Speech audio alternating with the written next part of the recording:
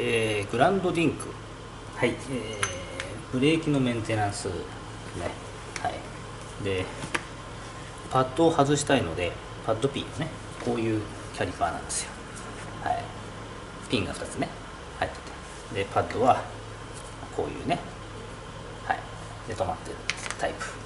でどうしてキャリパー外れちゃってるかっていうとキャリパーを外さないとっていうかあのピンが抜けなかったようなね。ピンが抜けない、はい、でこれ外したピンなんですけど要はこれ緩めてね。最後スポッと抜け抜くじゃないですか。抜けないんですよ。こっち側は抜けたのかな？うん。はい。叩いて、うんこっち側ね叩いても抜けないそう。見るとこうほらだいぶ広がっちゃってるでしょ。サビで。ね。そう。なんていうんですかねこれね。で結局こう噛んじゃうような 状態になっちゃって全然うんともすんともなくなっちゃって途中は。ほんのとりあえず緩めるのまず硬いんですよ。ネジ。ね。嫌な感触があるんですよ。ここがもう固着しちゃってる。回らない。ね。でこれパッドにこれはでも通るのかな。パッドのところはでも通るんだ。うん。さすがにパッドの穴はねそんなに小さくないんで通るんですけど結局ここのあれですよね。こね今でもね入らない入らないの。わかります？ほら入らない。入らないですよ、うん。入らない。こっちはねこっちは入るんじゃないかな。入るね。ほら普通はこうやって入るでしょ？スポスポってね。入るんですけどこれはもうサビでこう膨らんじゃってて全然うんともすんとも言わないんですよ。そう。で叩いたんですよ。キャリパーをねキャリパーをこうホースつながった状態でこう置いて叩いても全然うんともすんともかも途中まで行っちゃって。もう動かない。叩いて戻すのに戻らない。でもうこれダメだと思って。それで外したんですよ。ね。とりあえず外してそれでちょっと万力でねちょっとプレスがあればプレスでねやれたんですけどないから万力ででちょっと少し戻して。でそれ戻すとここのところが抜けるとね、うんちょうどこうこれぐらいになったのかな。だからちょうどここのここの穴にここのピンが通る穴にここの部分が来ると動かなくなっちゃうわけですよ、はい、どうしようもないから、はい、もちろんあの潤滑剤は塗ってますよ。もうしょうがないでね塗って。うん。で実はね前もそうだった 前もねすんごい硬くて。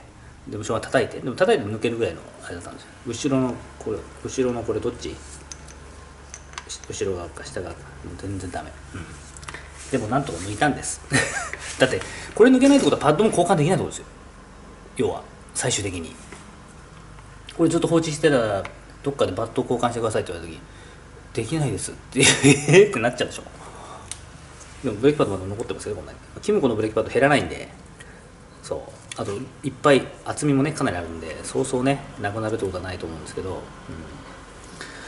うん、いやーね参りましたねこれね、うん、ということでこれ磨いてね再利用っていうのもできるんですけど前もね錆びちゃった。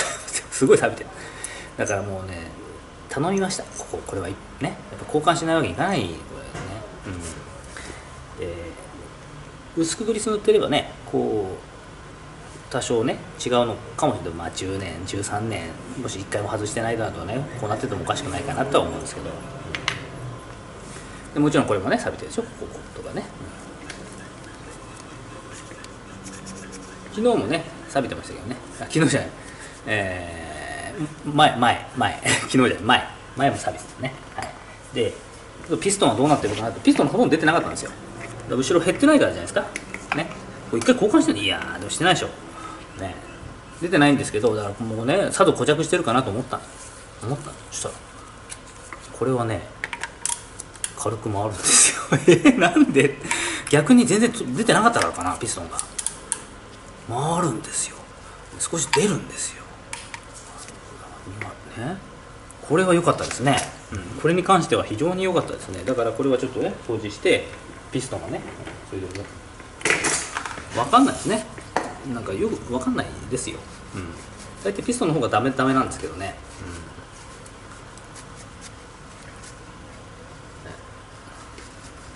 うん、逆にピストンが綺麗っていう。っていうかあのこうね固着してなくてさらに拭くと綺麗になるっていうね。でも中は分かんないですけどね。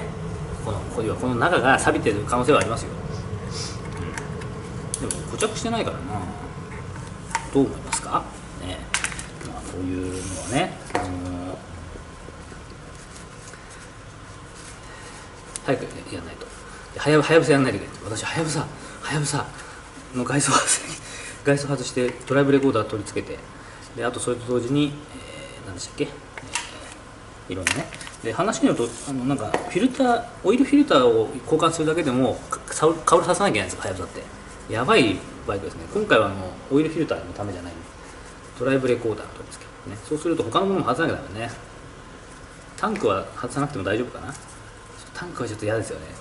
カウルがついてるからカウルで隠れる部分がいっぱいあるんでそこのところを通せますよね、うん、ネイキッドだとどうしてもタンクの下裏とか下とか見えないところをやっぱり配線通したいですからそうするとタンク外さなきゃいけないとかね。そういうのが出てきますけどね、うん。はい。まあ、それはね違う車両の話なのであれですが、はい、だから預かんないとできないんですかって言われちゃったんであそうですねって話でちょっとねこんなことやって、ね、やらせていただいてるんですけどあのちょっとねやっぱりこう車両を見た瞬間これまなんだまずいなと思ったんですけどいろんな部分がね来てるんじゃないかっていうね,、うん、ね。その割にピストンが大丈夫な。んだすごいな す。ごい違う意味ですごいんだよ。このなんなんていうんですかね。なんなんなんなんだろうこれ。なんでピストンは大丈夫なんだろう。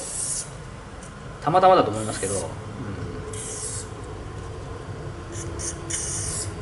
これはたまたまだと思います。よそんなね都合よくねこれ押すと多分ブレーフル出るでしょスムーズに戻るもん。やべえ。ピストンがすごい調子がいい。なんで？これ良かったですね。キャリパーダメですね。つってこうバーって。1個ね1万3 2000いくらですよ。だから1万3000何十円ですか。1万4000円ぐらいするのかな、アッシーでね。パッドもついてるのかな？キムコの場合は、まあ、全部ですよ。全部。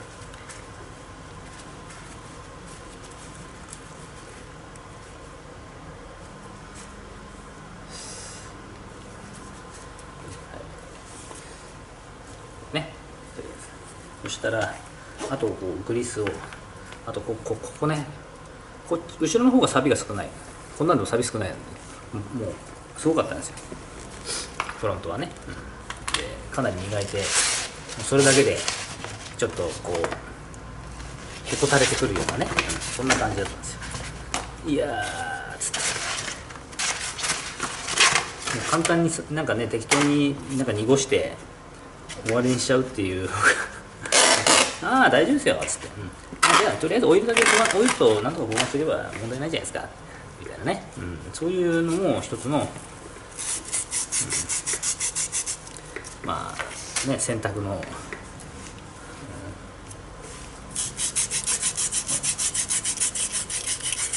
12ヶ月宣言みたいなね。だから一通り見てほしいっていうなると、うん、ちょっとね。まあ車検からい車車検で買ってまだね、えー、1年2年ぐらいしか経ってないとかそれだったらそんなにねあの普通に特にもうノーマル状態で普通に乗ってるんだったらそうでもないですよね。あ、まあ、距離も、まあ、距離乗らなければね、うん、そんなねあの大して見るところもないのかなってね。簡単にちょろっと見てね。ただやっぱり仮想校であったりとかあと10年。13年だからね。13年あとそのその時その時でちょっとねあのそのお店前のね前前っていうかあの行って行ってるお店ちょっと遠いからねっていうことでうちにあなんだ近くにあるじゃないかっつってお見えになったんですけどそうするとちょろっとねこうあこことここは変えた方がいいですよって、ね、そのそそれだけやるっていうね、うん、いうやり方だったらしいんですけど。うちはそれはできないですねって。それそれやる場合はだからまあ本当に外観で分かる部分ああこういうところで交換した方がいいですよみたいな。そしたら油種油種類ですよね、ベルトだとかあれとかそういうのは置いてないのでさすがにね。でうちで販売しているあの GP GP とあとターセリーとダウンタウンですかね。その辺りは置いてあるんですよ。ベルトとあのエアクリーナーみたいなね。とかそう。置いてるんですけどとりあえずね。いつでもすぐパッと交換できるように。レーシングは置いてないですね。なぜかというとレーシング買ってる人 あんまりいないから。ですね。はい。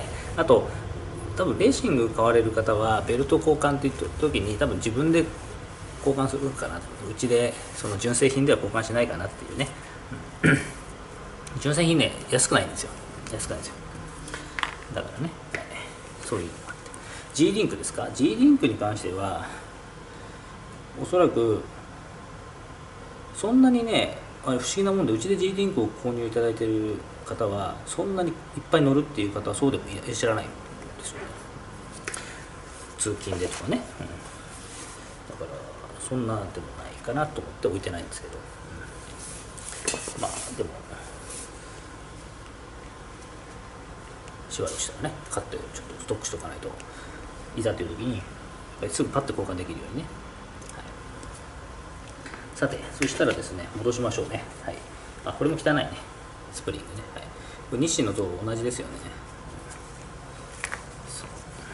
基本的に作り一緒なんですよね。何なんですかね。微妙に違うだけ。微妙に違うだけ。これ日本のやつをずっと作ってたっていうのがねなんかなんかあるんじゃないかなと思うんですけどよ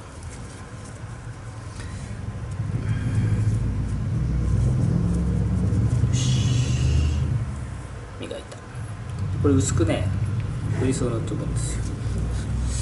薄くだよ。薄くですよ。ほんと軽く塗っとけばいいんじゃないか。そうすると掃除がね次回の掃除が楽じゃないかっていう。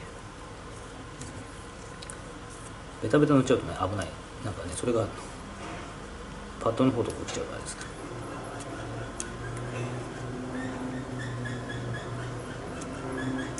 薄く塗っておく。パッドピンがないじゃん。パッドピン今日来る予定なんですよね。パッドピン。前も前はとりあえず磨いたんですよ。これはね磨いた。でもダメですよね。サビサビだもん。サビ全部取ったって仮に仮にサビをきれいに全部取ったとしてもすぐサビできるでしょ。それ意味ないしね。だからまあこれは新品にね交換をさせていただいて1本300円だったかな、うん、ご説明をしてですね、はい、やりたいなと思います。はい、こんな感じで今日は朝ね今ね8時8時50分そう早くやらないと。昨日はあのー、1日結局作業はね何もしてないんです。すいません。許してください、えー、バイク屋の休日みたいなねあれでちょっとね、はい、でちょっとあの気になるねあれがあって、うん、でお客様のところにちょっとねあの失礼かと思いましたがちょっと行かせていただいてで確認をさせていただいた。そう。確認させていただいてネジがねちゃんと閉まってるかどうかって言ったらそういうことなんですけど、うん、そう、うん、もしねあの閉めきっちり閉めてなかったなんて言ったら大変じゃないですか。うん本当に。なんでそうなんでそんなこと言ってるかというと記憶にないなんかないんですよ。記憶にない。記憶に、うん、記憶にないっていうのは通常は閉めれば閉めた記憶が残る。ね。残るんですよ。やっぱり、うん、その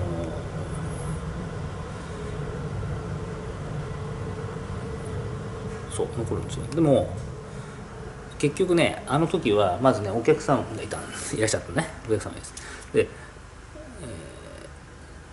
えー、その相談ね相談買買うなんか車両のね相談みたいなねはい。であので約束してたのでそっちの作業はねうん。点検とオイル交換の作業ですからオイル交換初回初回点検ですね、はい、オイル交換ギアオイルね。でえ私あのそれはもう時間で約束してたんででそちらのちょっとご相談みたいのはの方は、えー、飛び込みだったんで、はい、で最初そそちらの方が見ちゃったんでね。で話をしてでちょっとごめんなったんですよ。あの約束もね。だからそれでやりながら、はい。えー、だったんで,、うん、であと電話がかかって あと電話がかかってきたりね、うん、で結局閉め要は結論から言うと閉まってた、うん、で綺麗ちゃんと掃除もしてあるし閉めた。無意識に全部それやった。無意識じゃないかもしれないけどそれややってて他のことに意識がいってた。かいあの他のねあれで、うん、だからあのー、まずいでしょ？ダメだ。それじゃまずいじゃないですかね。その度にね行って「あすいませんすいません」ってやってたらじゃねあのー、話になりませんから。はい。で万が一ね閉まってなかったら大変ですから、ということでやっぱりねあのー、まあそういうちょっと、まあ、そういうのがあってあと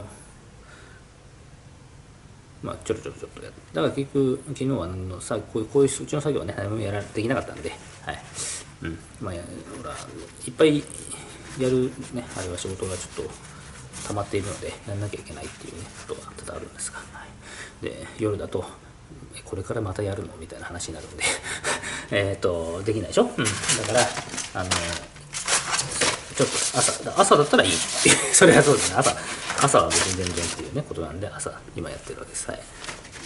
ただ夜も多分6時ぐらいまでできないから、うん、78時までやればいかないんでね。ちょっと早く。ということなんです。部品がだからまだ来てないよね。とりあえずキャリッパーつなあそうか。部品が来てから全部やるね。でも準備だけしといて、うん、そういう感じで。あとこれはもうあとそう冷却水結局来なかったんですよ。あまあまあまなんとかに頼んだんです。アマアマゾンアマゾンでいいですか？アマゾンで。アマゾン大丈夫？これは言っても大丈夫。なぜかというとえーとこれは言っちゃダメなんだ。えっ、ー、となんだっけ？なんとかね。何ゾンさんに頼んだの。でえっ、ー、とねおとといかな？8月31日だ。8月31日到着予定だったんですよ。だからこれももうね準備してたの。で来なかった31日に。今日9月2日です。ね30日来なかったんですよ。で俺来ないと思って見たら8月31日、えー、お届け予定。でも発送してるんですよ、はい、あの業者じゃない。他の業者がのじゃない。そう。何ゾンさん直接何ゾンって書いてある。何ゾン合同なんとか会社から送りますって。だから本部のものなんじゃないですか。だけど来なかった。で俺来なかったなとで夜だからあもうじゃあ夜なのかなと思って夜あれ結局次の日あ来ないじゃんと思ってあれどうなってんだろうなと思ったら朝見てもやっぱりそうなってるんです。8月31日お届け予定9月1日にね。であれななんだこれと思って。でまあほら昨日昨日でいろいろねだからそういうあっち行ったりこっち行ったりとかしてたんでないじゃないですか。ね。ないじゃないですか。だから最終的に夜もう一回見たんです。そしたら9月2日お届け予定変わってるんですよ。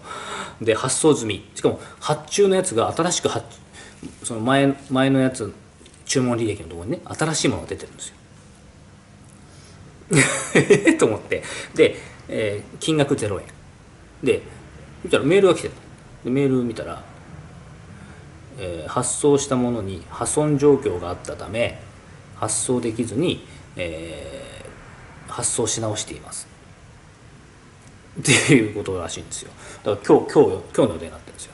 いつの間にかね、はい、何ゾンさんね。どどうどうなんですかね。で結局2日丸2日遅れると珍しいですよね。まあそんなね何でもかんでも夜頼んでね前の日の夜に頼んで次の日の朝ね午前中に来たりするっていうのもまああれですけどね。そうそれはちょっとね行き過ぎ感もないないとは言えないですよ、うん、でもまあこう仕事とかでやってるとちょっと助かるかなって思うんですよ。いざとなパッとパッと来るからね、うん、ただねまあそれでね助かってることはただある、うん、ただ来ないと焦っちゃいますね。あれ来ないってね。はい、えー、何園さんです。合同会社とかです。何園ね、はい、だから、そういうのがあってね。案に違反してるの？君は。何園さんあ私成城さんのあのなんかパートナーシップなんとかっていうの参加してないですから大丈夫です。分かんないですよね。そう。なんか書いてあるじゃないですか。これ概要欄によく。ど、ね、YouTube の動画を見ると概要欄に、えー、何ゾン、えー、パートナーシップなんとかに参加していますみたいなね書いてあるじゃないですか。あれはどういうことなんですかね。あれに加わってるとなんかお金もらえるんですか？少しあだ入るんですかね。そういうことですよね。うん。私は参加してないので参加っていう参加っていうのかな？うん、何もないですけどね。はい。